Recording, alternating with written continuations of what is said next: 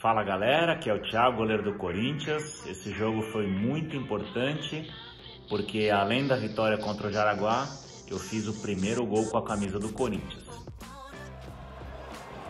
Thiago!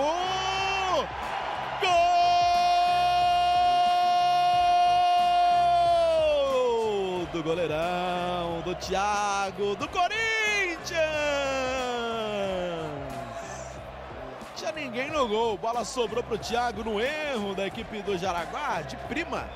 Thiagão falou: vou fazer o meu aqui.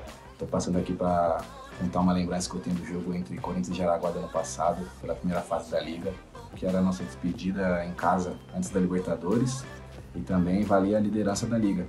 E esses dois fatos são importantes porque um dá a chance de da gente decidir em casa, onde a gente era muito forte, e o outro para dar confiança para a gente chegar na Libertadores, que era uma competição nova e muito importante para o clube. Então é isso aí que eu lembro do, desse jogo.